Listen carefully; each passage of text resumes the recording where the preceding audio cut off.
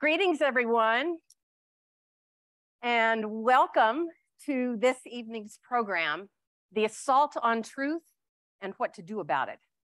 My name is Marie Griffith, and I'm the director of the John C. Danforth Center on Religion and Politics, the sponsor of tonight's event. And before we go further, I just want to thank our terrific center staff for all the work they put into this event. Deborah Kennard, our assistant director, Sherry Pena, our administrative coordinator, and Molly Harris, our administrative assistant who manages the macro and micro logistics of our public events. And we're also very honored tonight to have Senator John C. Danforth with us in person.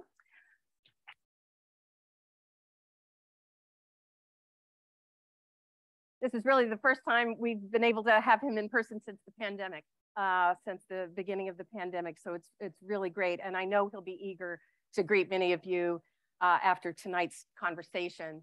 Uh, let me just remind you to silence your phones and your buzzing devices uh, before we get started.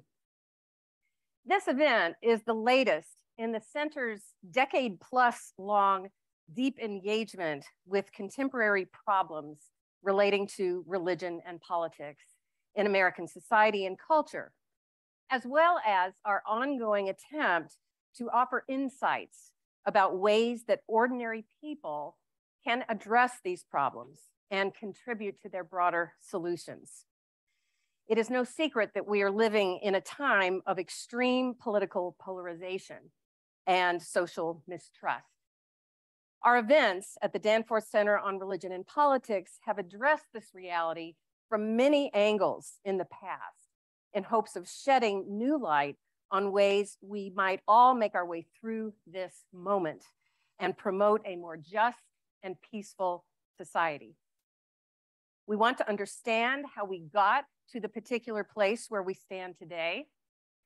And we also want to encourage practical action for responding to current conditions and improving our social institutions, our political norms, and our relationships with other people in this country, both those with whom we tend to agree on big moral issues, and just as importantly, those with whom we disagree.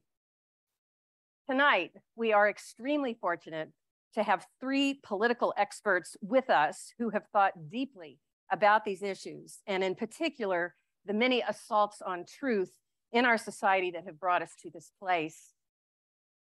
Cherie Harder serves as president of the Trinity Forum, where she leads the initiatives and operations of that organization. During her tenure, the Trinity Forum has significantly expanded both programming and organization reach, grown their donor base and mailing list tenfold, launched new lecture series that have been featured on C-SPAN and public television, launched many social media efforts, developed a new membership model, developed new curricula, and much, much more. She's done a tremendous uh, amount of work in the 14 years, I think you said you've been there. Uh, prior to joining the Trinity Forum in 2008, Ms. Harder served in the White House in the George W. Bush administration as special assistant to the president and director of policy and projects for First Lady Laura Bush. Earlier in her career, she served as policy advisor to Senate Majority Leader Bill Frist advising the leader on domestic social issues, and serving as liaison and outreach director to outside groups. And also senior counselor to the chairman of the National Endowment for the Humanities, where she helped the chairman design and launch the We the People initiative to enhance the teaching, study, and understanding of American history. She holds an honors BA in government from Harvard University and a postgraduate diploma in literature from the University of Queensland in Brisbane, Australia, where she was a Rotary Scholar.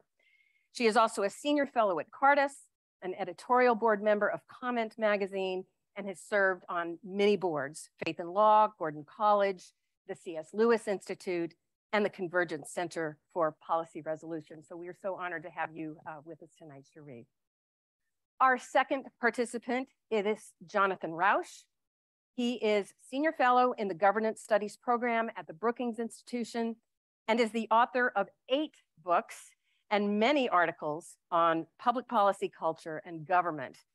He's a contributing writer to The Atlantic and the recipient of the 2005 National Magazine Award, the magazine industry's equivalent of the Pulitzer Prize.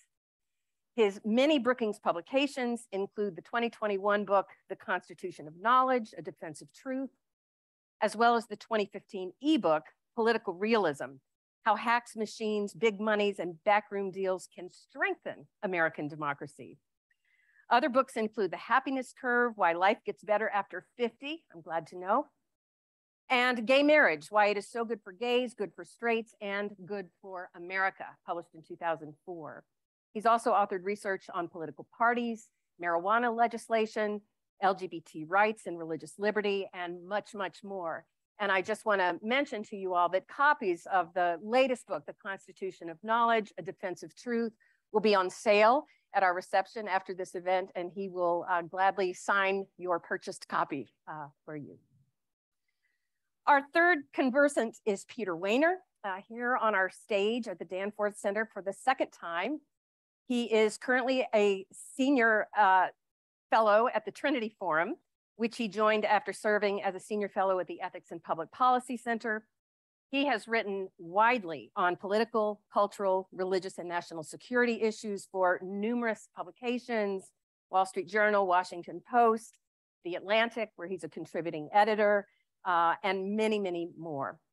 In 2015, he was named a contributing opinion writer for the New York Times, where he writes a monthly column that is always worth reading. He's also appeared frequently as a commentator on Fox News, CNN, MSNBC, CBS, and C-SPAN uh, television. Relevant for us here uh, in particular, uh, Mr. Wehner has deep political experience. He served in the Ronald Reagan and George H.W. Bush presidential administrations prior to becoming deputy director of speech writing for President George W. Bush. So he's worked in three Republican uh, administrations. In 2002, he was asked to head the Office of Strategic Initiatives, where he generated policy ideas, reached out to public intellectuals, published op-eds and essays, and provided counsel on a range of domestic and international uh, issues. He has spoken and written widely on Christianity and culture, and also the current state of the Republican Party uh, under President Trump, and I know we will hear more uh, from him. He is the author of several books, most recently, The Death of Politics, How to Heal Our Frayed Republic After Trump, this book too will be on sale uh, at our reception following this event, uh, and Pete will be delighted to sign your copy um, as well. Our three guests had a wonderful lunch with our undergraduate students earlier today and dinner with Senator Danforth. And I'm just so thankful to each of you for being with us today. So please join me in welcoming Cherie Harder, Jonathan Rauch, and Peter Wehner to the stage.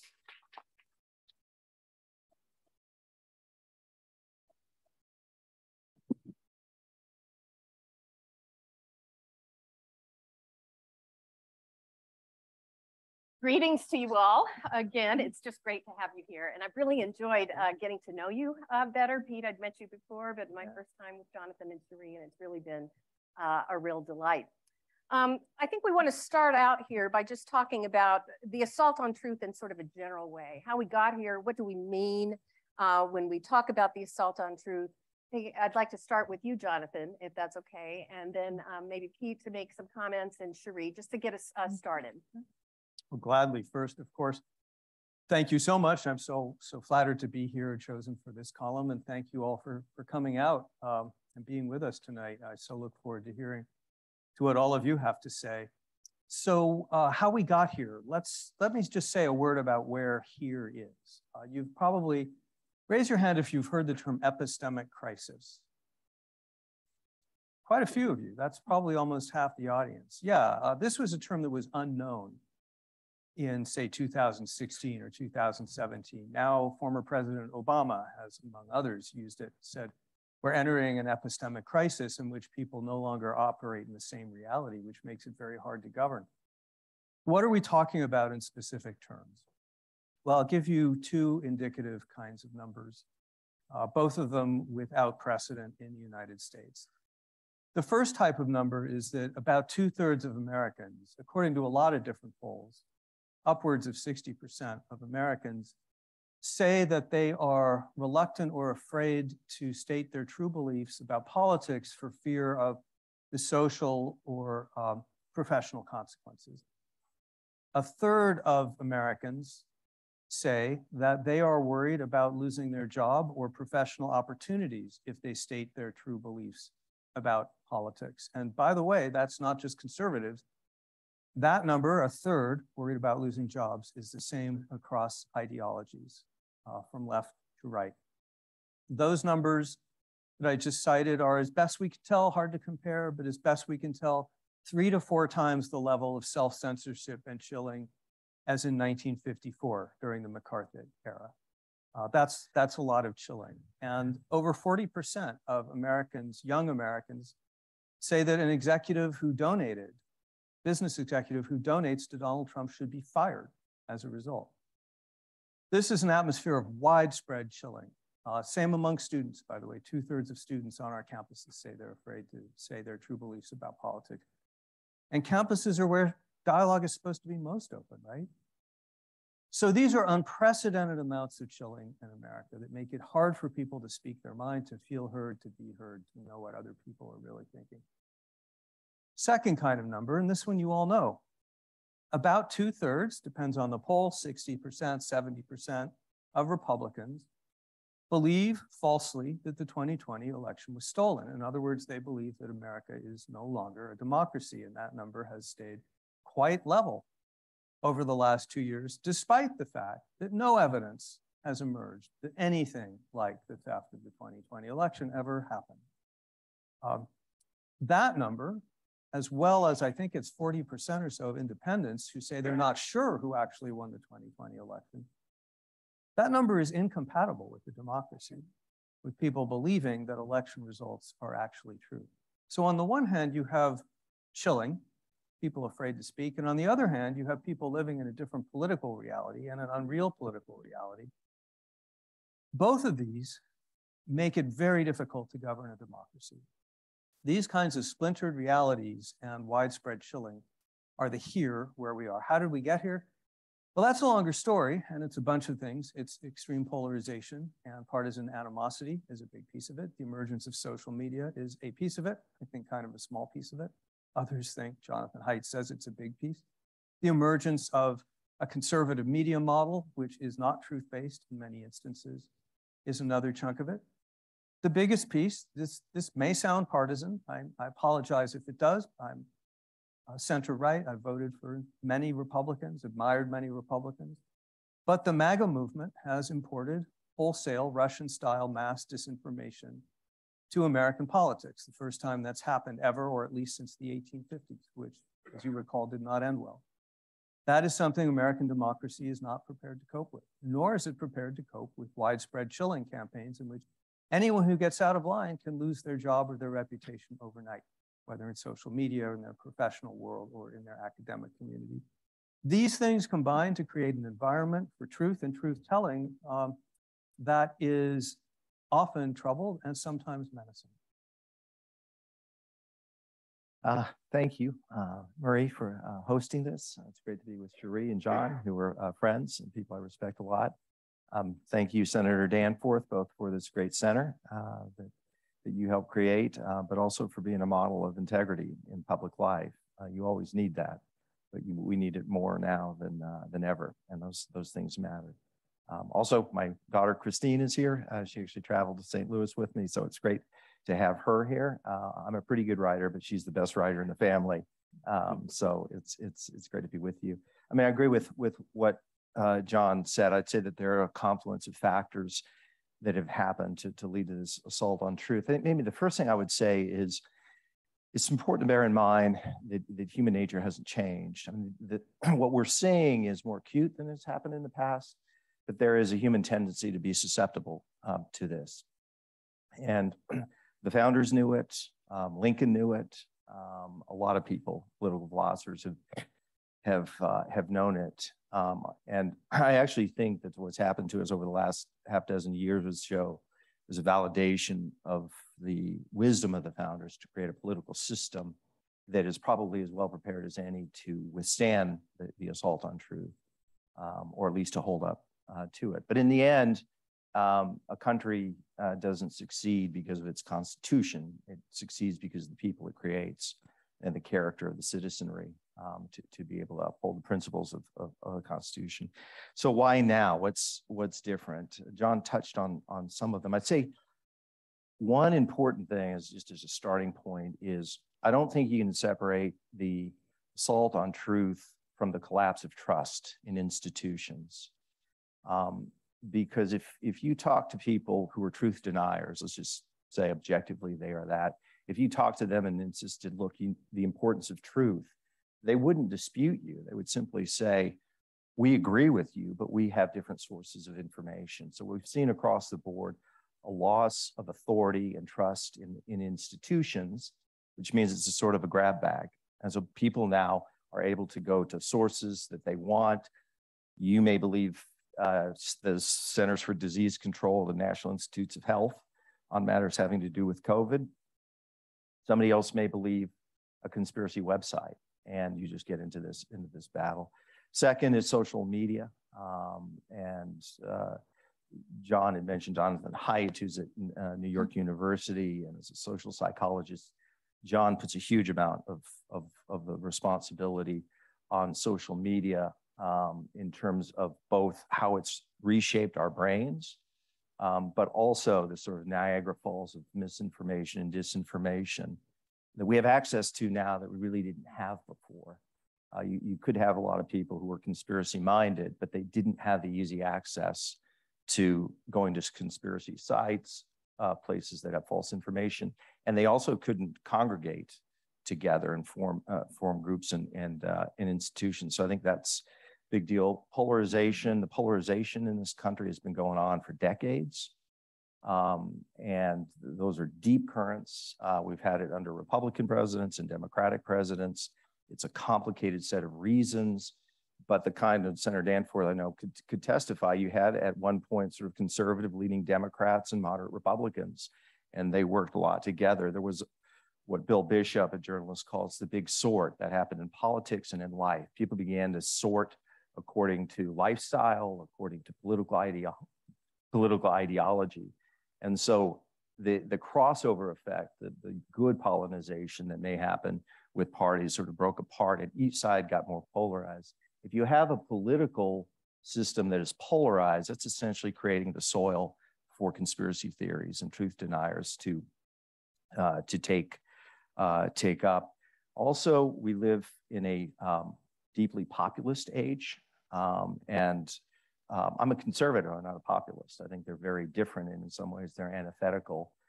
And populism historically, it, it can have, it can contribute uh, to, to particular moments in time because it can give voice to legitimate grievances. But populism unchecked uh, can be a dangerous thing because it ignites the passions of the people. And again, this is what the founders concerned about. Abraham Lincoln, when he was 20 years old, gave a speech, the Young Men's Lyceum speech, where he talked about mob mentality and, and uh, what that could do to, to, to this republic and the threat of law and truth. Um, so this is a populist age, it's an anti-establishment age, it's an anti-elitist age. Um, so that, uh, that is out there as well. Um, and then I agree with, with John, which is, uh, I had been a lifelong Republican until the Trump presidency is Marie said, I worked at three Republican administrations, um, but it's um, it's with some degree of of lament and and uh, and disappointment and even pain that I say that the Republican Party, to me, has become a a, uh, a kind of wrecking ball uh, in many respects on on truth. It's not isolated uh, only to that because I think you have a sort of pincer movement on the progressive left. You see on, on campuses in journalism and elsewhere uh, they too want to shut down truth. They too want to um, shut down um, de uh, debate. And the last thing I'll say is just there's been a kind of grievances that have grown up um, especially on the American right. I think some of those are overstated. I think some of them are legitimate. Um, people feeling that they've been dishonored and disrespected, that they've looked condescended to, their values are under attack.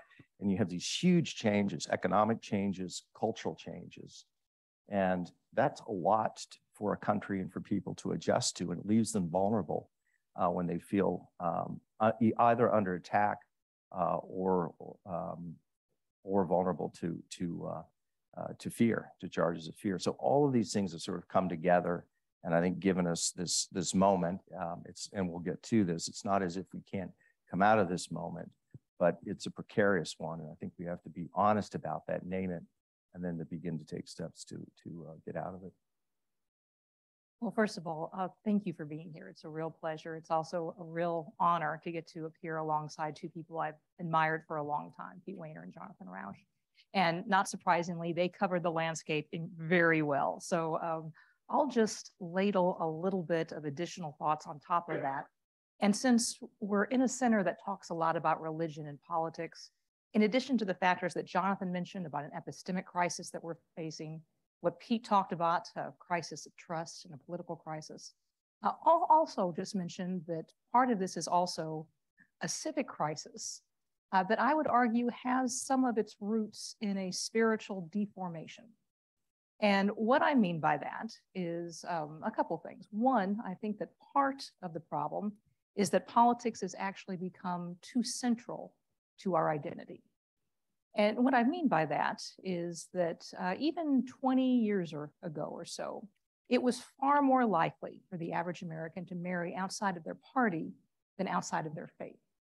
Uh, religion was considered one of the unmoved movers of identity. That is, your, your faith background often shaped other parts of your identity. That has all flipped. People are now far more likely to marry outside of their faith than outside of their party. Uh, one's political orientation forms more and more of what one thinks about oneself and one's kind of place in the world. Uh, and there's very real consequences to that.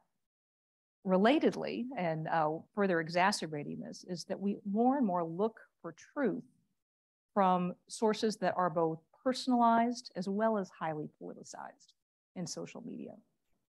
There's good reasons, of course, for people to uh, have some doubts or distrust about traditional um, you know, media forms, institutions. Their institutions have failed from time to time. Uh, but one of the unsettling things is that distrust has not made us in the aggregate more discerning and more shrewd. It's actually made us in the aggregate more gullible, more easily taken in by streams of information that confirm our biases and play to our grievances rather than challenge some of our biases or unsettle some of our grievances. Uh, and a third area that I think speaks to kind of the combination of, of spiritual deformation that's fueling a civic crisis is that we are not only looking for more of our identity in politics, so our politics is um, getting more, more central and more polarized, as well as more apocalyptic. We're looking for truth in fundamentally um, uh, unworthy and distorting means and information streams, but we're also increasingly looking for purpose in political combat. And a lot of our faith-based institutions, churches, uh, organizations, uh, there is a syncretism between political combat and ultimate ends. And of course, when you try to fuse the two, you're kind of left with a holy war that's largely fought online where courage is often equated with belligerence. Uh, the refusal to listen or to compromise is somehow seen as principled conviction. Uh, and where giving quarter to one's antagonist is seen not as mercy or grace, um, but as cowardice or spinelessness or capitulation. So I, I do think that in addition to our, uh, our epistemic crisis, the crisis of trust, uh, there is a deeper both civic and, and religious crisis that is fueling this as well. Thank you, all three, so very much. And maybe to stick with the religion theme a little, I, I really appreciate you raising that. You know, one of the issues, uh, and Pete, you and I have talked about this, um, there's a lot of attention to white evangelicals these days and what's been called white Christian nationalism.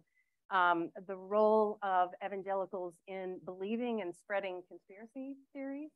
Uh, and so I, I, this movement that's supposedly about truth seems to have, uh, in many sectors at least, gotten so caught up uh, in all of this, this assault on, on truth. And I just wondered if I, I know Cherie and, and Pete, you both come from an evangelical background. I know, John, you speak as an outsider to that, but as someone in conversation with a lot of evangelicals. Um, maybe we could uh, have you speak to that uh, a bit. Pete, do you want to start? Sure, that? sure. Yeah, I'm happy happy to uh, um, to do it. Uh, it's an important issue, um, and I should say I, I, am a person of the Christian faith. That's uh, I think most central to to uh, to my life, and the fact that um, not only have, has the assault on truth found its way into the into the Christian church, but the fact that in many instances, I think the church is uh, accelerating that assault on truth is is is, um, is the most painful thing in terms of this uh, political and, and, religious moment. Why is that um, is that happening? Um, several things I would say that is at play. Um, one is uh, the the history of the white evangelical church is important to bear in mind, and even history of Christianity uh, and science and, and, and truth um, over uh, over the last hundred years. You had the Scopes monkey trial, um, and you have this sort of skepticism um, that exists. Tim, Tim, Keller and others have talked about that within evangelical movement um, that um, I think makes it more susceptible uh, to to conspiracy theories. And then you have certain branches of of Christianity, uh, Pentecostalism, which um, which I think can can uh, can fall into that. There's also a, a, fusion of a fundamentalist sensibility with the evangelical um, faith. Um, Mark Labberton, is the president of Fuller Theological Seminary, has talked about that. And if you're familiar with the fundamentalist movement, and it has some things to recommend to it, but it tends to be anti-intellectual um, and very skeptical um, of of, uh, of authority. Um, and and that tension of of uh, science and and faith um, is is is something that's almost intrinsic, at least in in some some quarters of uh, of Christianity.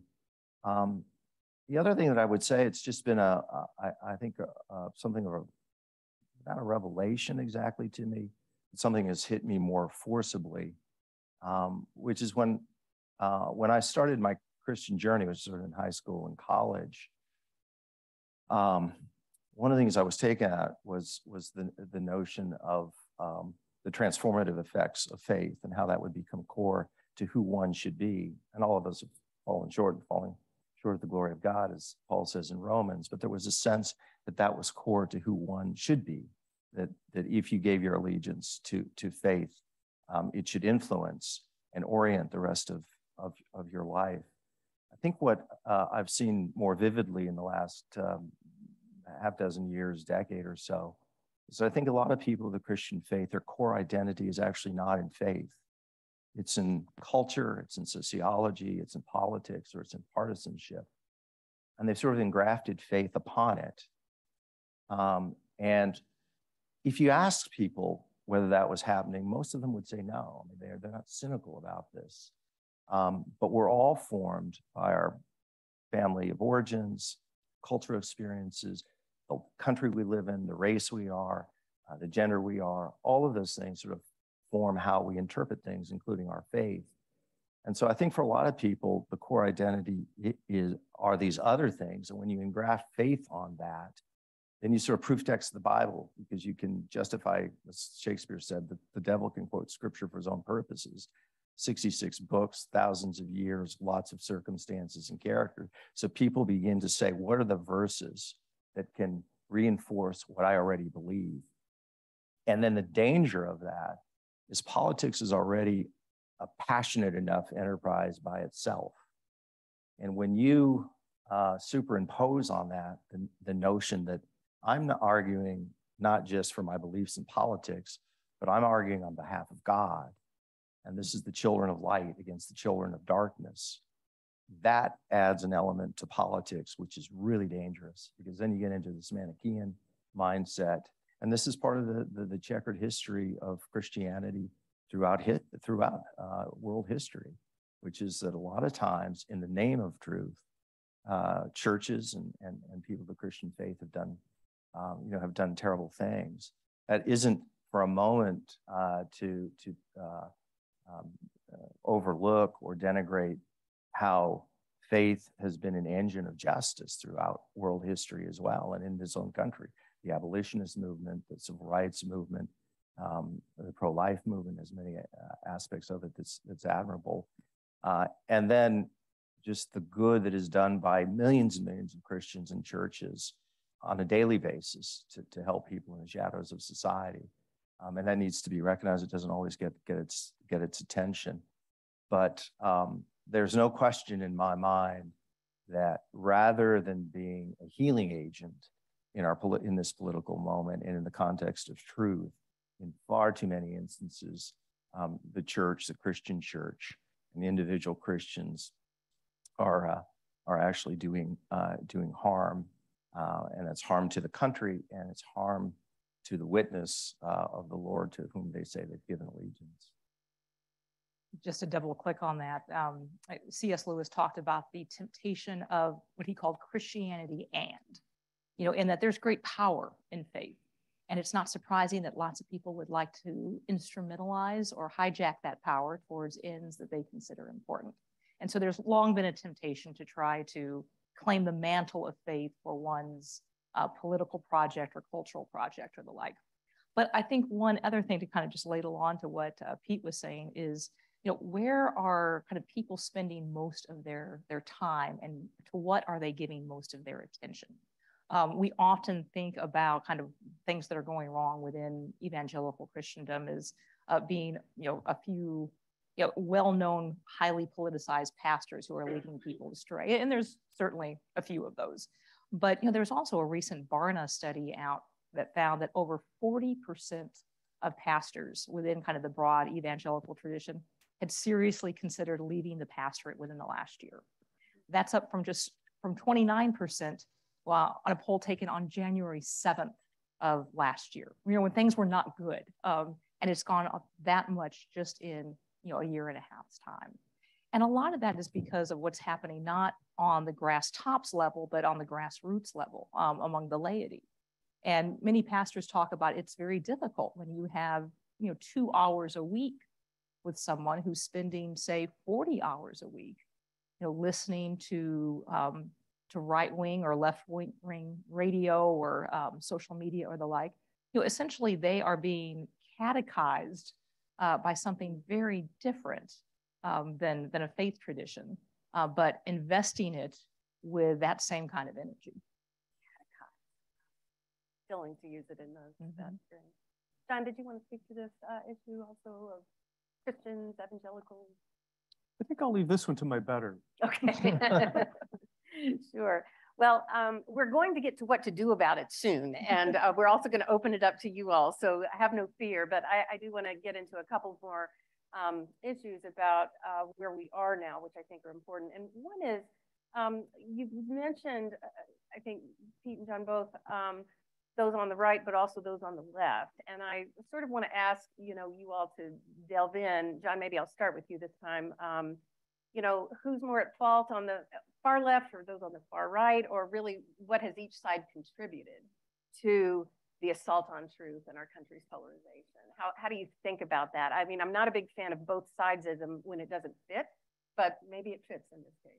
Uh, it does not really fit. And the reason it does not fit is that there are problems on both sides. But in my view, others will disagree. But in my view, uh, the threat from the left is kind of like cancer. It's eating away at institutional values, including at universities, where you're seeing, for example, I was just hearing today a university, recent university graduate saying that her uh, women's studies program had been more interested in indoctrination than teaching. But but those tend to be more slow acting problems, that kind of infestation of one-sidedness uh, and politicization in parts of universities. I think the political problem on the right, the direct attack on our democracy, the use of mass disinformation to distort democracy, undermine democracy, making that actually the price of admission if you're a Republican politician, that's a heart attack.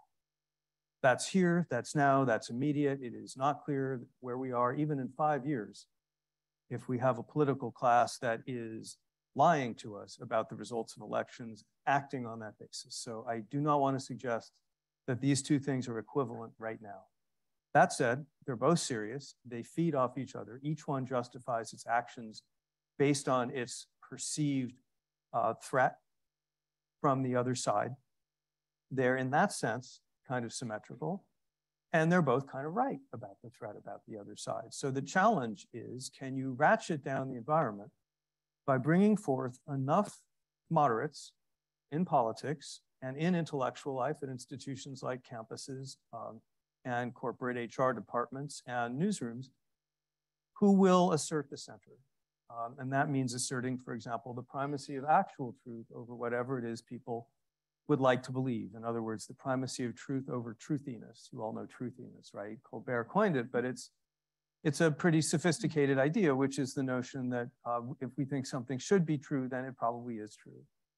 Uh, we got to forswear that on the left and right. Um, in places like newsrooms and academia, we have to do a better job of making sure there's viewpoint diversity alongside of other kinds of diversity. That's sorely lacking in, uh, for example, a lot of anthropology and sociology departments, and that's distorting scholarship. It's costing, uh, it's costing those departments and academia a lot of public trust. It means on the right, standing up to MAGA, um, it means that Liz Cheney is correct in principle, not saying there's the power to do this at the moment, but in principle, all election deniers should be denied office it should be made clear that if you are lying about our democracy systematically for political gain, that should not be acceptable. And that's going to be up to the voters.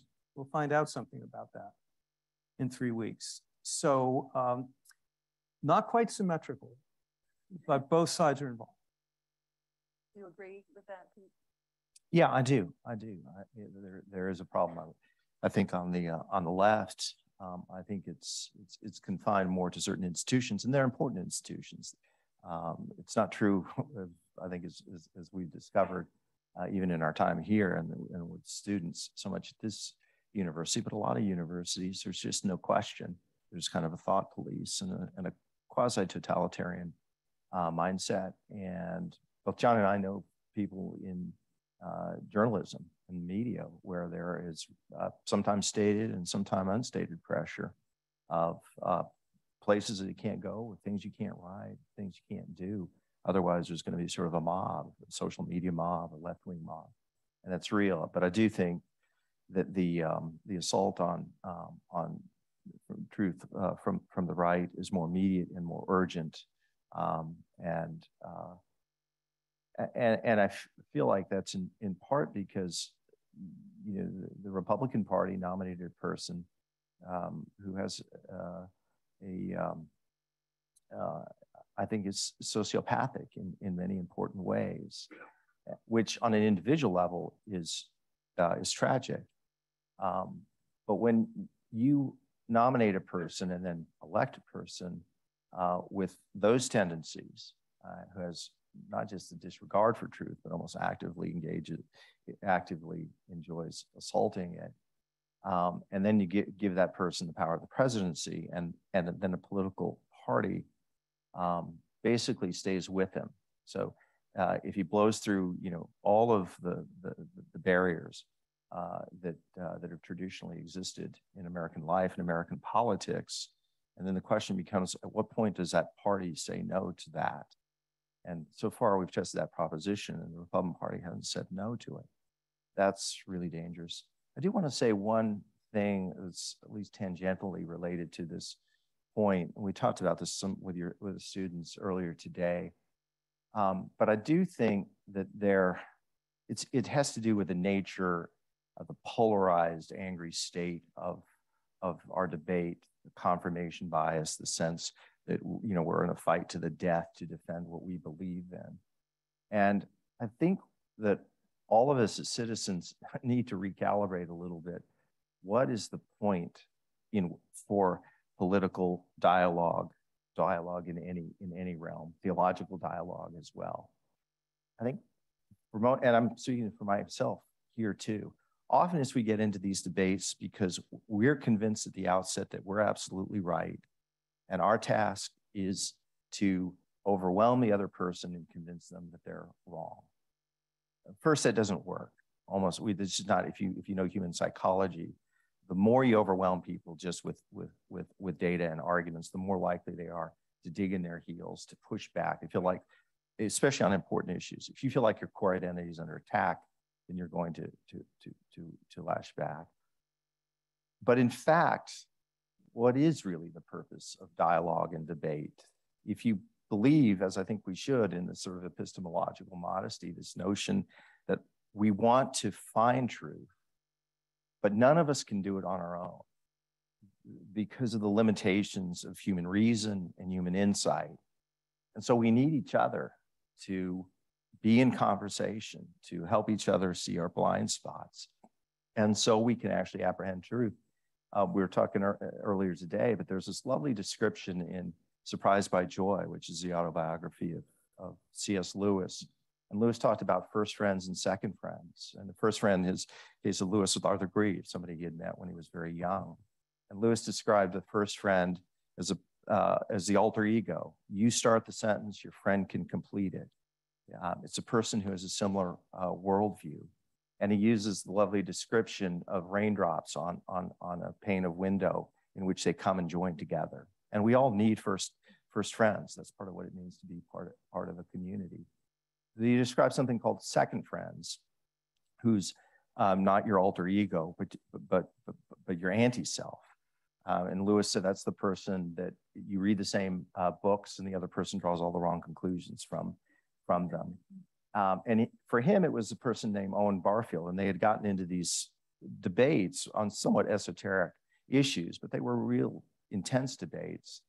And so when Lewis is writing about his second friend, he, he describes that they would go at it hammer and tong late into the night, and how almost imperceptibly they would begin to shape each other's uh, views.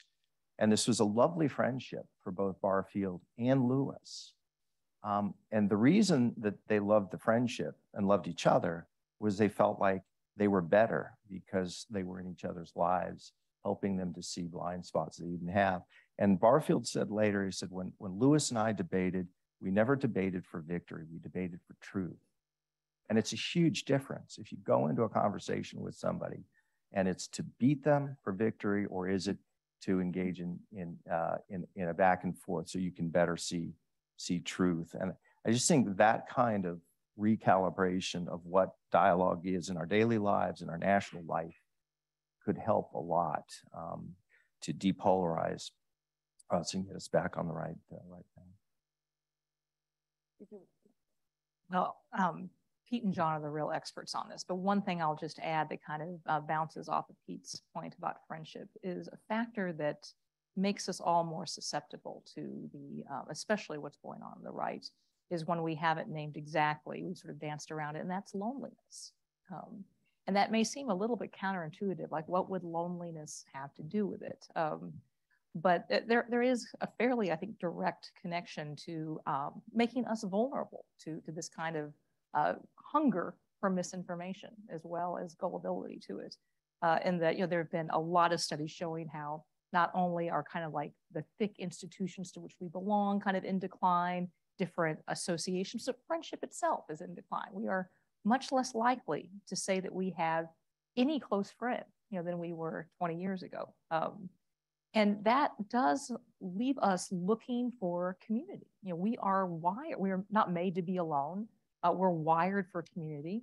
And uh, the combination of the breakdown of institutions and neighborhoods and communities and the uh, decline of friendship, uh, as well as a pandemic that's you know, kept us all quarantined at home at various times, has had us looking uh, for for love in all the wrong places. You know, we've gone looking for community online, and the kind of community that's formed online is rarely about you know deep knowledge, personal knowledge, and caring for another person. It's almost always about shared affiliations or associations. Uh, and one of the first rules in politics, of course, is it's much easier to rally people around a shared, uh, a shared hatred or grievance than it is a shared love or proposal. And uh, you know, algorithms have gotten very good. You know, internet companies are have gotten very good at keeping our attention. And usually, the way they do this is by feeding us information that confirms all of our biases, or gets us really riled up at how evil or stupid our antagonists are. Uh, and we go kind of further and further down that hole um, where we're losing actual human contact uh, while getting more and more confirmed of our own correctness and the utter venality and idiocy of those who disagree with us. You know, Hannah Arendt in The Origins of Totalitarianism talked about how it was a people who were kind of disassociated from each other that were the most susceptible to misinformation. And I think that's kind of where we are and part of why uh, the, the misinformation heart attack that John describes has had um, has been so, uh, so effective. Mm. I think that's a wonderful point. The social consequences of loneliness, mm -hmm. you know, as being really critical and something that probably doesn't get enough attention and, and conversation. Um, I'd like to continue. I think Pete, you kind of got us uh, going here. Today at lunch, one of our wonderful religion and politics minors, uh, I think it was Carly, I don't know if she's here with us or she may be on the Zoom, but she asked you all a question about talking across these complicated lines. And she had a, a story. Uh, she recently went to her brother's wedding and got into, it sounds like, a very painful argument with her uncle over abortion. Um, she's very strongly on the pro-choice side and her uncle was not. And she they started out trying to have a conversation about this and it just avalanched as she put it. And she wanted to know you know what are some tools? This kind of helps us get to what do we do about it but what are the tools? You all had some really thoughtful answers i think for that um, of how to talk across uh, these these difficult sorts of issues. John maybe i'll start with you uh, on that. Uh, sure. There's there's a lot of as you all will imagine a lot of research in the last few years that's been initiated on this question of you know various versions of so what do I do about my QAnon relative who's completely out of touch with reality? Is there a way to retrieve this person? Um, and what the research seems, seems to show is that what does not work is to approach them with the idea of correcting their facts. That seems to actually make people more defensive and make them dig in. What seems to be more effective although challenging at a personal level, is to initiate a conversation from the point of view of genuine curiosity and interest in that person. There's a saying that I've seen attributed to Dale Carnegie, the famous author of the famous How to Win Friends and Influence People. Haven't verified this, but it sounds right, which is you cannot make people agree with you, but you can make people want to agree with you. Um, and a way to do that is to express curiosity and interest, do listening before talking. Um, I'm associated with a wonderful group called Braver Angels, which is a national grassroots depolarizing movement.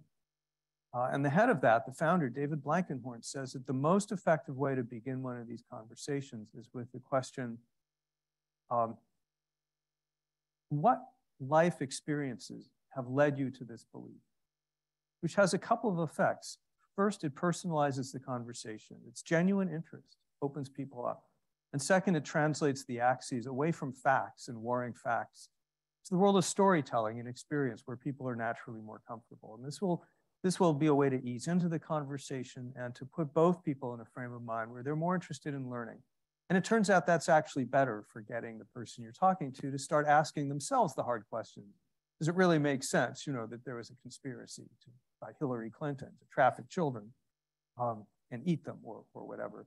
Uh, a second thing which is very helpful is to, to try to restate in, in the best way you can the, your, um, your interlocutor's position.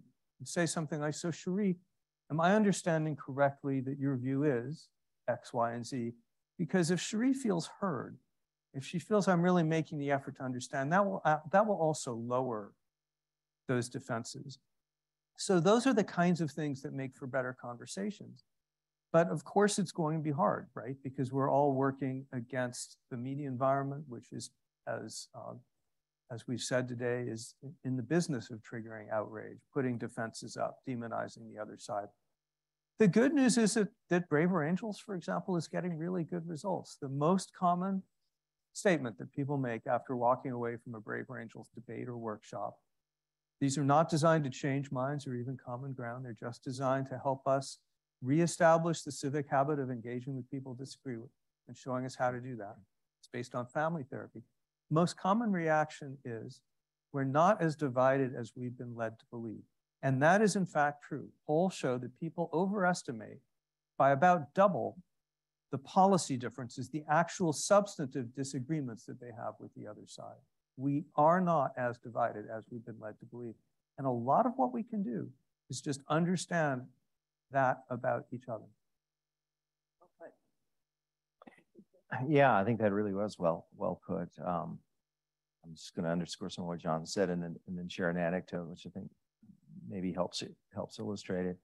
Um, but this idea of being heard is is is a really big deal, and um, whether you've experienced that in political debate, almost everybody has, I'm sure, experienced that just in life. Um, and you think about if you're in a marriage with with uh, with your spouse or or a friendship, um, and if you um, have an area of disagreement, um, if uh, the response uh, is, uh, you know, if one person mentions the things that have hurt them or upset them, and the response of the spouse or the friend is to go through the litany of grievances that you have against them, you're not going to get anywhere um, at all. So people have to feel heard and there has to be a genuine uh, interest, curiosity about uh, about where where uh, where these people are. So John had mentioned that. Um, I think also that there is a real virtue to a to a pretty simple discipline, which is um, to think for yourself, or even to have conversations with other people of what is the best uh, argument, good faith argument for the other side. Um, I, I, was a visiting professor at Duke, and one of the assignments that I gave students was um, I listed uh, several issues um, gay rights, um, guns, race, and abortion. And my assignment was choose one of those topics and write the best paper you can against the view that you hold. And then I would grade them to see on how strong of an argument that they made. By the way, some professors had warned me against doing that because they thought, well, this is these these uh, uh, topics are too hot to, to do on on uh, on campus. But I went ahead and did it, and it wasn't a problem. So on the issue of abortion, there was the NARAL representative, pro-choice representative on the Duke campus, who wrote her paper on a pro-life perspective. And so when we gathered after those assignments were done, um, and we just talked. I, with, I, was talking with the students, and I asked this woman uh, about how how that uh, experience was, and she said it was very painful. But she said, I actually felt that I understood the other side better. She didn't change her mind, but she did did understand it uh, better. Uh, and the last point that I'll make um, on on this, uh, and I, I don't know exactly how to scale this up, but at least on an individual basis, I think this kind of thing is important and uh, uh, and and can work. And that is that if you have standing in other people's lives in the realms beyond politics, um, then that opens the way for genuine and authentic political discussion. If people feel like they they can trust you and that you have an interest in their in their lives uh, beyond the political. Um, there's a person that I know who's a right wing radio talk show host. I've known him for several years. I had written a piece in the New York Times critical of Trump. He was upset, wrote me an email. We had a back and forth. You tell the temperature was going up. You know, 10 years earlier, I would have written a 10 page point by point rebuttal to everything he said. And as Cherie, we used to work together, can tell you I'm capable of doing something like that. that would have uh, that would have achieved precisely nothing of good. It wouldn't have convinced him he was wrong. Uh, it may have been temporarily therapeutic for me, but then I would have had to have circled back to repair the friendship because I know what, what that would have catalyzed. So instead, I uh, wrote him and I said, look, uh, because he made some charges against me. I said, I'm not going to really answer those unless you really want me to, but let me tell you why I think we're talking past each other. And I did the best good faith job I could to say, I think this is how you view me as a critic of Trump.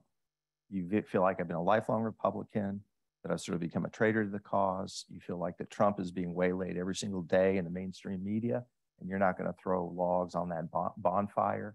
You feel like the success of Trump is tied to the success of the country, And even if he's an imperfect person, he still needs to, to win.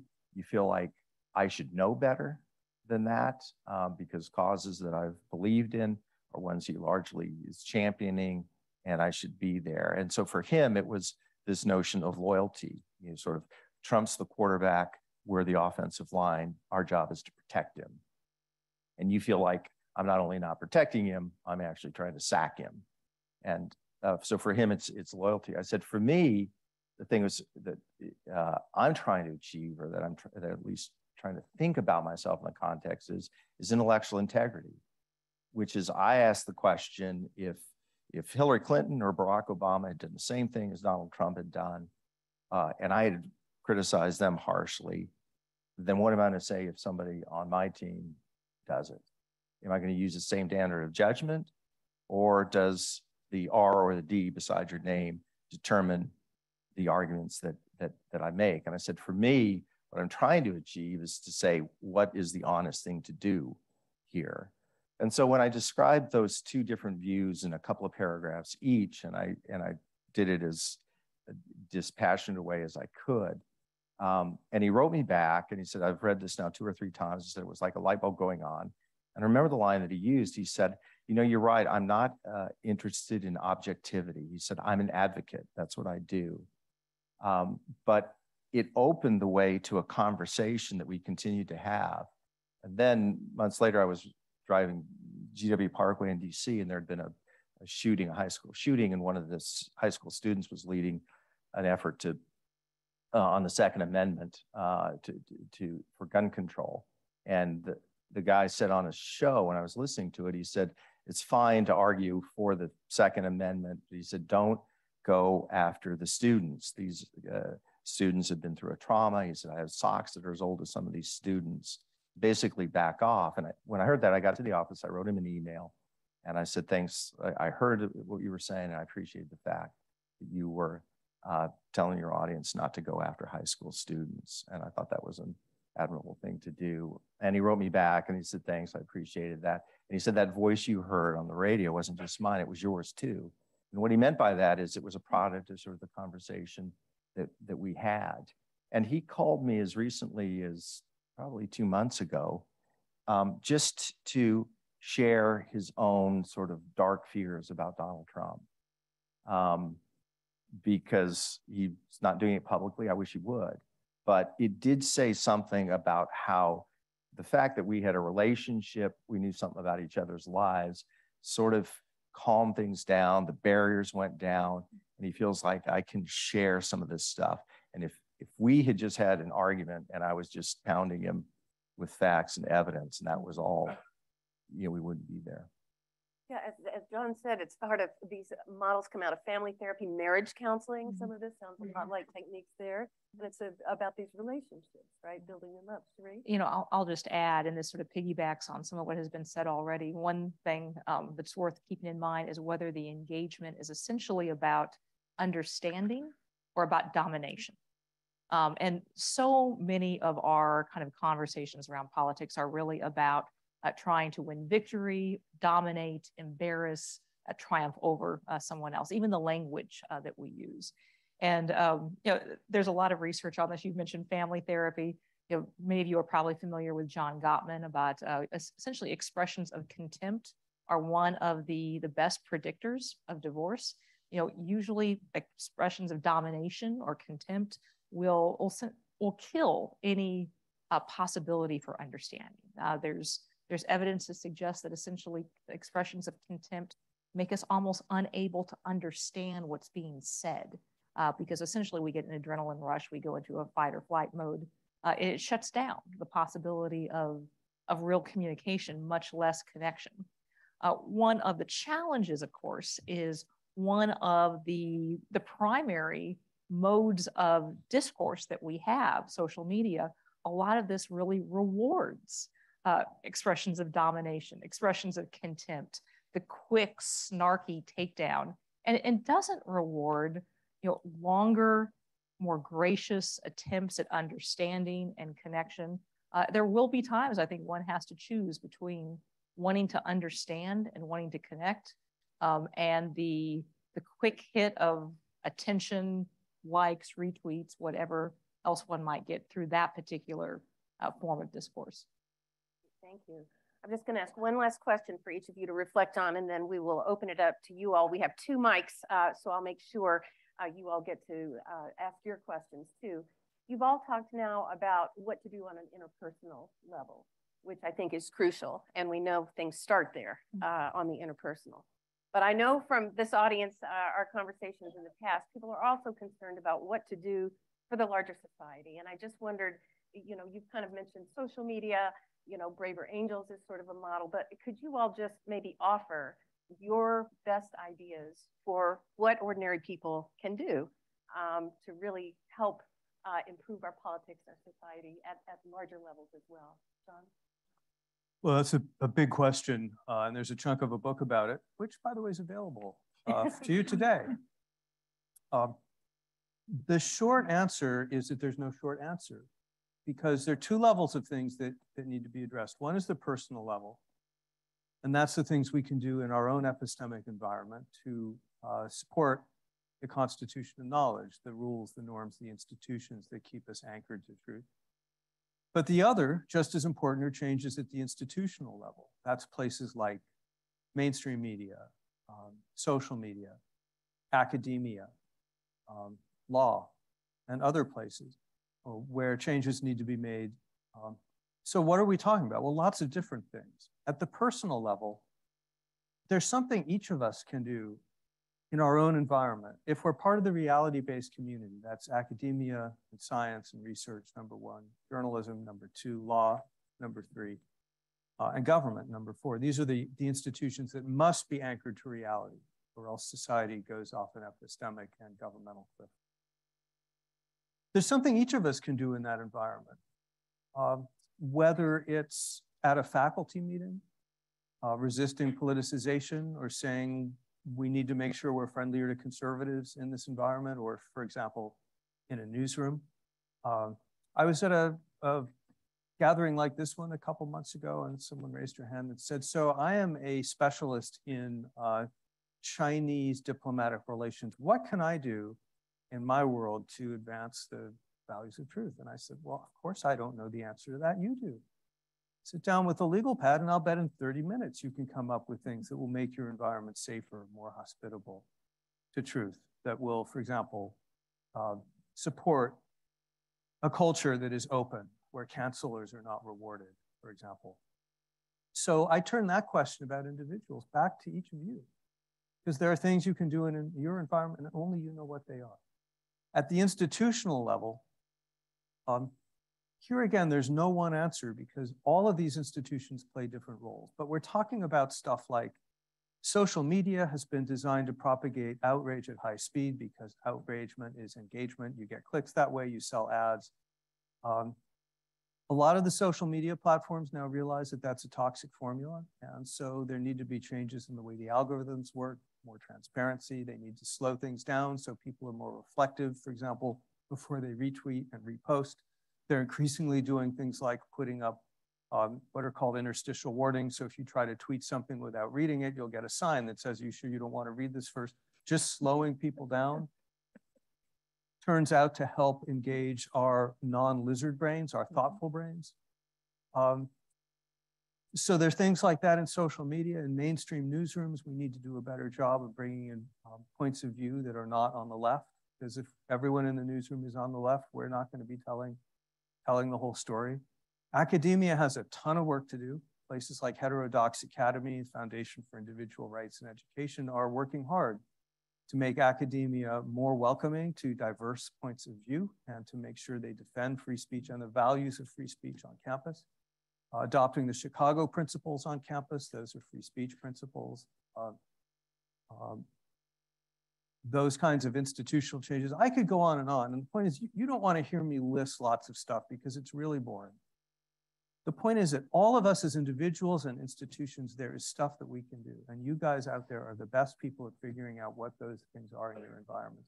And the good news is the constitution of knowledge, the system that we have that anchors us to truth, that prevents us from going to war over truth and falling victim to totalitarian lies, has been under assault for 300 years. This is just the latest iteration.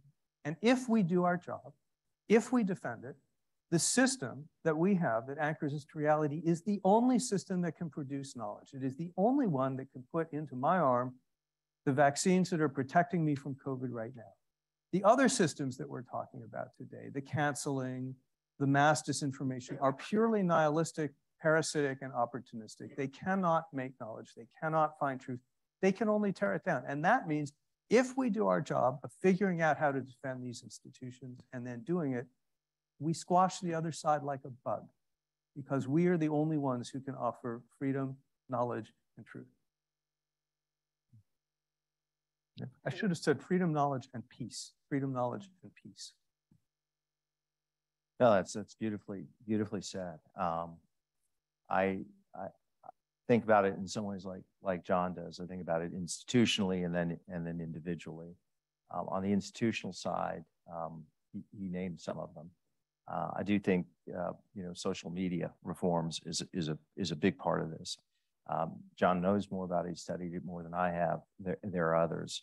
Um, but uh, in that great book that you can buy after this event that John wrote, uh, he goes through. And actually, I think, John, I'm right in saying that if you compare 2016 to 2020, there has there has been some degree of improvement. Significant improvement. Yeah. yeah. Uh, so this is us sort of catching up in terms of technology with with what the problem is. We're sort of back on our heels in in in the um, mid uh, 2010s, and, and we're making changes there.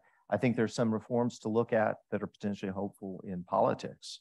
Um, and again, politics is, is driving a lot of this problem through the polarization. Um, but there's ranked choice voting and open primaries um, that seem to, to um, be showing early signs of, of, success. There are things like uh, voluntary national service, which um, I find appealing. Uh, and I think there's early evidence that that can help. And the idea of voluntary national service is that you get people from different walks of life, different race, different income, different class, and they work together in a common project. And the anonymity that is uh, necessary to create the, the, the, hate and the assault, the antipathy that we have toward one another begins to fade when you actually are dealing with real people, particularly in, um, in a common cause. Um, I would say that there's one institution, uh, partly because of my history, but partly because I think it's important to look at is, is, is the church. Um, and uh, there are two people, um, friends of mine, Curtis Chang and David French, who are going to start an initiative in which they they want to try and help, uh, to a word that Cherie mentioned, catechize people of the Christian faith, uh, not from the pulpit, but I think through adult education classes, on how the proper way for uh, people of faith to engage in, in, in politics. And it's not the, the what of politics, not the issues, but the how. Eugene Peterson uh, had a lovely phrase. He talked about the Jesus truth and the Jesus way. And he said, you can't support the Jesus truth if you're not using the Jesus way. And we're not seeing much of the Jesus way within politics. So Curtis and David want to work on curriculum and videos and helping people within churches to say, look, we got a problem. We want to name this problem. We don't want to. We don't want to turn our our uh, our uh, eyes from it. We don't want to be partisan as churches, but we want to try and give uh, a a way for for people of faith to engage with with integrity uh, in politics and in culture, so we can be light and salt uh, and healing agents to a world that that needs it. And the last thing I, I would say is uh, it's not a, a reform, but I, I, suppose it's a it's a mindset um, of of sorts, which is to keep in mind that one person acting alone you know, can't make a difference, but a lot of people acting together can make cultural change. Um, and things that look impossible uh, can uh, can become true.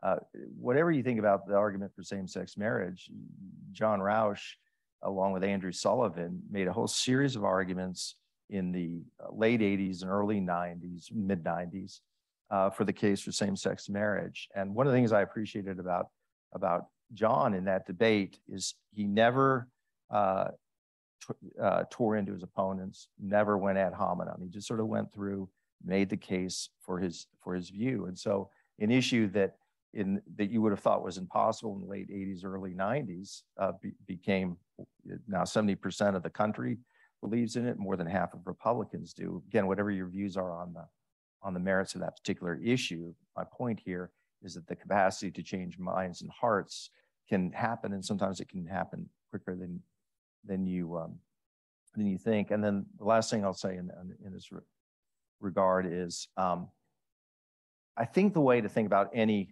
large and important endeavor in life is that you're called to be uh, faithful, not necessarily successful. And you, we all would rather be both. um, but often you don't have control over whether your efforts are successful or not. That depends on circumstances you can't fully control. But all of us have the capacity to be faithful, um, to act with integrity, to act with honor, to, to, to, to, to be agents of, of, of healing uh, to, um, to a broken world, um, and to, for standing the truth even in, in an age of, uh, of lies. Um, that's all anybody can ask of you as an individual. Um, and after that, um, it's um, you know we'll we'll see how life life unfolds. Um, but it's important to do that, and it's important that people who care about these issues not become cynical or fatalistic or withdraw from the field, because a lot of people care about the same issues that you do. And I think John is right. We'll, the truth will prevail but it'll only prevail if there are people who are willing to defend it and defend it in the in the right uh, in the right way. Um, so I guess it's just a caution against uh, against uh, fatalism. Well, it's hard to improve on uh, the litany of suggestions you've just heard. So I'll just add one quirky suggestion as well as a comment. And uh, the quirky suggestion I would have is uh, communal, not just individual and not institutional, but it's start a reading group and that might sound really odd, uh, but here's why I say that. You know, we have been talking a lot this evening about the ways in which loneliness, uh, and the ways in which our preoccupation with social media, um, our distraction, uh, superficiality, and over reliance on politics has all helped fuel uh, the assault on truth. And, and what is a small book club or small reading group? It's a group of people united in looking, paying close attention to a worthy text in the spirit of hospitality and community. In many ways, it is a tiny little cultural antibody to the, the toxins that we have been talking about coursing through the body politic. And it's something that is small, that just about anybody can do, uh, and is a little microcosm of a better body politic, a better polis. Um, I would also kind of encourage read literature, read really good literature rather than a political book. And that literature necessarily requires kind of empathy and imagination as opposed to just kind of going straight to uh, reasoning and analysis and the like, and engages the right brain as well as the, as the left. So again, quirky, but um, in many ways, it is, I guess one could almost call it a, a civic liturgy. You know, it's an embodied formational practice that orients us in a very different way. Uh, and then the, the comment that I'll, I'll make is that, um, you know, again, we're, we're in the Danforth Center. I, do think uh, my own faith tradition is Christian. I do think the church will play, has to play a really important role in this, uh, in being the institution that, that does orient us towards uh, what we believe is ultimate truth uh, and, are, and should be forming what we love. Um, and of course, you know, the essence of Christianity love the Lord your God with all your heart, soul, mind, and strength. Love your neighbor as yourself. What does it mean to love one's neighbor? I think it's fair to say that um, our, the assault on truth, the polarization that we're uh, seeing, the, the contempt, all of this is antithetical to that. And so um, I hope and do believe that the church will play a role as well. Three incredibly thoughtful answers. Thank you. Now it's your turn uh, for questions. I'd especially love to hear from students, if any, if any have. So we've got Jared Edelman, one of our other wonderful RNP uh, minors here. Get us going. Awesome. Uh, thank, thank you to all three of you. Um, to kind of touch on the points of like affective polarization, loneliness, sorting kind of along cultural cleavages. Um, a lot of kind of solutions have been along like the response to bowling alone and that sort of thing, if to get more social fabric and cross-cutting uh, institutions to bring people together. Maybe it's a reading group. Um, I'd like love that idea. Um, one question I kind of have and have thought on is is religion a necessary part of that, or religious institutions a necessary part of that? If it's sufficient for you, I'd love to hear that take, but I'm not sure that's going to be there. Um, and if so, what do people, given kind of increasing secularization, who are not involved with a religious faith, do and kind of what is a good substitute for a religious institution? Well, I'm going to volunteer for that one because I'm not religious. I'm an atheistic homosexual Jew. So I think I'm ideally qualified to comment on religion. um, so I'm, I'm grabbing that. You, you guys can be quiet. You're biased. So the founders did not expect liberal democracy to answer our spiritual needs, give us fulfillment in life, and settle the big questions like, why are you here? They just expected it to set up a system that arbitrates our disputes in a fairly regular way and, and turns us toward compromise and persuasion instead of coercion and violence. And they succeeded in that, but they counted on a substrate of what they called Republican virtue. And, and for that, they counted on the propagation of those values in um, especially, not only, but especially in religious institutions. And so is it possible to have a liberal democracy without a functioning substrate of pro-social, civic-minded, pluralistic religion? It's possible, but it's much harder. Um, I think the answer is that there really is, put it this way. 20 years ago, I wrote a piece for Atlantic lauding what I called apatheism, which is the idea, you know, actually people don't care much about God anymore, one way or the other. And that's a real advance because now we don't have to argue about religion. Probably the dumbest thing I've ever written. because it turns out that if American religious institutions are not doing their job of providing a greater vision, um, a thicker sense of community, a sense of purpose in life, and undergirding civic values, the substitutes are worse. Everything from Soul Cycle to um, uh, QAnon, uh, wokeness, these divide us further, but they don't provide that civic substrate. They actually uh, they actually do the opposite. So what we're discovering now is that if religion falls asleep at the helm, uh, the boat starts to sink. Can it survive? Yeah, it probably can, but it's way harder if people like Cherie and Pete and their friends in the religious world don't step up. I agree with the atheist. Other questions? Raise them high. Okay, I see you back there. Um, hi, thank you to all three of y'all and Dr. Griffith for moderating.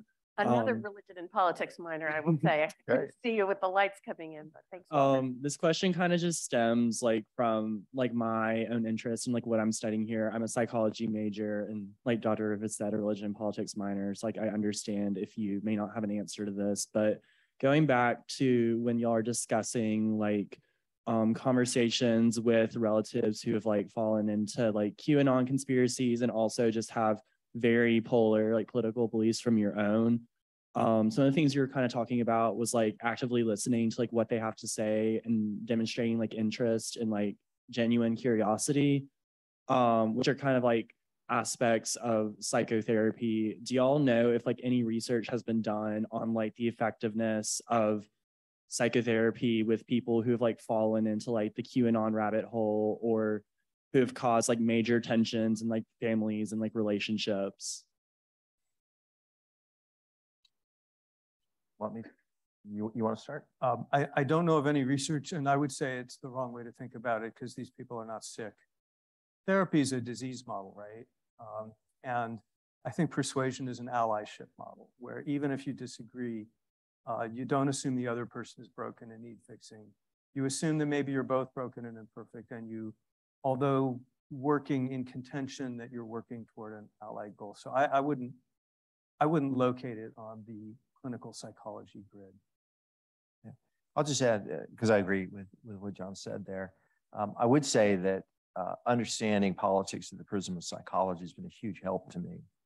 Um, I think I, I, That's uh, true. I have a much better appreciation for what um, is happening in the in the world of politics, and honestly in the world of faith, by understanding uh, better um, how the human mind works and how human psychology does. My, my daughter, I mentioned earlier, graduated, uh, her major was in psychology. She's going to go on to do uh, her PhD in psychology. And we've had a lot of conversations where I've been asking her questions when I'm driving and she can take the notes on the on her answers. But it's like, help me understand what is happening, what's the dynamic that's going on. Um, and the, the, whole areas of motivated reasoning and confirmation bias, what it means when your core identity is is it, you feel like it's it's under attack. How do you listen well? Uh, what what provokes people? What triggers people to keep them from from uh, listening well? All those things is much uh, more helpful to me. And as I was alluding to earlier, I think I've changed, not as much as I should, but I think I've changed my own personal interaction with people in the realm of, of politics and theology, um, not as a trick to get them to believe what I believe and just say, well, here I'm going to go through the side door rather than the front door, um, but actually to sort of understand them more more fully. And again, um, you know, the easiest thing in the world is to see the blind spots of another person. Um, I mean, I can see them in, in instantaneously, and you probably can too. One of the harder things in life is to what your own blind spots are. That's why they're called blind spots, because um, we we we don't see it, um, and that's just something that I think we have to. Um, again, you know, epistemic modesty. It's this notion that truth exists, but what I was alluding to earlier, we need each other to try and apprehend it. The best any of you in this audience or any of us has is we have a slice of truth. We, we have an angle of truth that is deep and true, but that's limited um, and it's and it's confined and and and and uh, uh, and mitigated by all sorts of experiences that that we have. So I just want to come back to underscore that notion of being in community with with one another and and and and uh, and listening and being open to recalibration of our own views, not just recalibrating the views of, of others. That's a much better answer than the answer I, I gave. I've learned huge amounts from psychology about the position that we're in. And is there a book you would recommend to Walker and others? There is. You're thinking about. it's called The Constitution of Knowledge. Okay, there you go. After this meeting. I'd actually recommend The Righteous Mind. I've read both. Jonathan and, uh, right. No, that one's good too. the uh, he's not kidding. Actually, I learned a huge amount from John's. Uh, one of his gifts as, as, as a writer and a journalist is the ability to uh, synthesize complicated stuff in an accessible way, but that is actually uh, sophisticated. So the two books that I would recommend would be John's, The Constitution of Knowledge, and The Righteous Mind by uh, by, by, John uh, John Haidt. H A I D T is how you spell that. Yeah. Last question.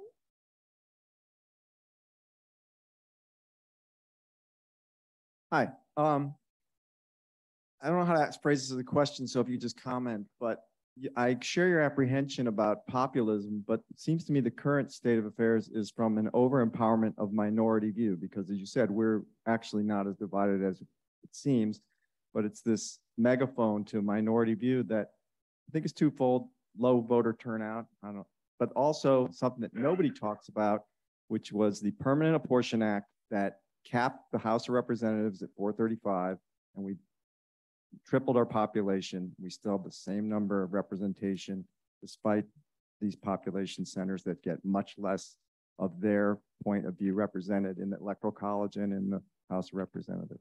Just comment. There's a case for that. Um, it's a it's a different conversation, I think. You want to do one more? Okay, I guess we have time for one more. Thank you so much. Oh, I've never asked a question. Um, I are you a student? I am a student. Um, I'm a minor in the uh, center.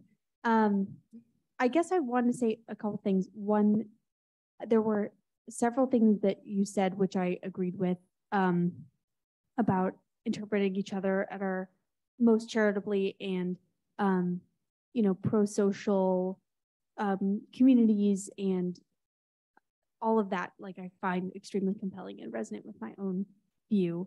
Um, I guess something that I'm wondering about is sort of the angle of power here, which is um, I feel like this is something that I something that I noticed when we when you were talking about I think uh, Jonathan um, when you were talking about um, sort of change in institutions to sort of um, you know propel I guess or I guess uh, you mentioned like HR departments or or changing institutions to help there be more sort of crosstalk, I guess, or more a little more padding for um, for helping people to feel more comfortable in all sorts of environments, which I do think is important.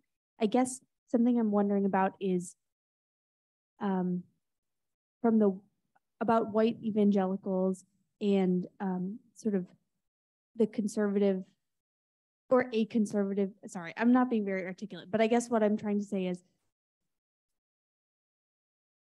I don't know how much uh, people on the left are willing to give up on um, sort of racial uh, progress or equity or hum- or rights um, when it concerns identities, um, sort of in the from the perspective of um, of white conservatives in the country who may feel a perceived loss of power. And I think that the perceived that the loss of power is is is also real and comes along with demographic shifts, as, as were mentioned. Um, but I guess for me, that's an element, an elephant in the room of sort of who has had power and who has not. Um, and I really appreciate all of you being here today. I'm just curious to hear what your comments would be. So thank you. Um, who has power and who does not? I don't think anyone loses power by having a conversation and seeking to learn. I think we gain power that way. Um, I approached a lot of people about same sex marriage at a time when it was such a crazy idea. My father warned me not even to get involved with it because I would ruin my reputation as a serious writer and thinker. And I found that I gained power by having difficult conversations with people who didn't necessarily want to hear what I had to say. Every civil rights movement, African Americans, women, gay people, now trans people, and everyone else, the source of their power for social change has been fundamentally speech and ideas, approaching people and changing their mind. And no guarantees, and it doesn't work quickly, but that is the most empowering single thing that minorities have always had. And that is why authorities, whoever they may be, black or white or um, straight or gay, in an environment, once they get power, often the first thing they will try to do is shut down people who disagree with them. So if you care about a fair society and about minority rights, I think that you want to defend the open society where hard conversations can happen and where we have to encounter people we deeply and fundamentally disagree with and even think are bigoted and unpleasant because first, they may have something to teach us. And second, we may succeed in teaching them. I think that was a mic drop moment. I, I'll just screw up the mic drop moment and add one, one, one thought to it. Um, I actually have sympathy very much for what you say, and I think that has to be taken into account. And I do think part of the dynamic which we're seeing in this country and specific to what you talked about Joy evangelical churches is the loss of power um, and uh, and that's not a good testimony to it number one because here i'm just overlaying my own theology on it i would say christianity is closer to anti-power than to power i don't think the cross is a symbol of power it's a symbol of a lot of other things but it's not a symbol of uh, of, of power. So I think that needs to be taken into account. And I also think that uh, power has the, the ability to corrupt people's judgments because you will do what you want to maintain power over other people. Um, but I would also say that power itself, people, people who have positions of power or people who don't have positions of power, uh, that doesn't necessarily validate whatever their views are. I don't think the powerless, by definition, necessarily have better ideas or, or what they're advocating may be right or it may be wrong. I think that experience has to be taken into account. I think if there's injustice, it has to be taken into account. But you can be in a position of less power and advocate things that could be harmful, and you can be people who have power and have exercised power in, in a responsible way. Um, and uh, in, in the case of what you talked about, um, even acknowledging what I've said, and I think what you're hinting at, which, well, not hinting at, but really stated, which is that white evangelical churches don't want to, or people who are white evangelicals lose power, um, acknowledge that that's true. It's also important to acknowledge that there are a lot of very good and decent people who care about their country and they care about their children and they care about a lot of good things and they have concerns and some of those are legit concerns and they deserve a voice too. Um, and they need to be able to, to, to be heard and to have their arguments in their case um, judged in the same way that, that, that anybody that anybody else else does.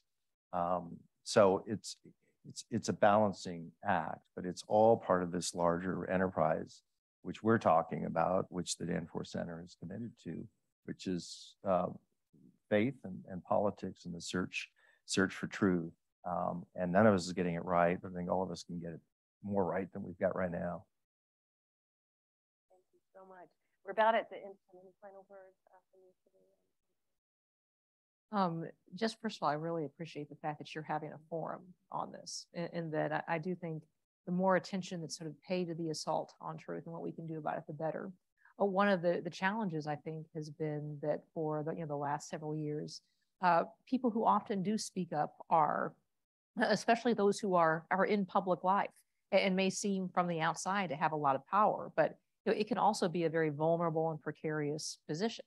Um, you know, often saying one thing or the other can get you doxxed, threatened, you know, your children threatened and the like. All of that has the you know the effect of driving uh, some of the the saner, more um, epistemically uh, modest, um, you know, kind of wise people from the public square and, and leaving uh, that whole arena to people who essentially kind of thrive off of the, you know, negative adulation and it, you know that their aggression will will kind of spawn. And so, you know, I think it's really important, um, you know, to, to be there to to seek understanding, uh, to be willing to to say things that uh, you, you know might receive pushback and to engage with that. And and that is i think how how we learn to grow um, both as as persons but also as as a people.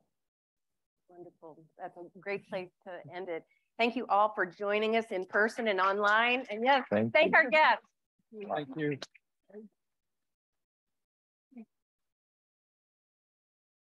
And please join us at our reception right outside uh, these doors. You don't have to buy a book to stay for the reception uh, but you can greet our guests and each other. So thank you all.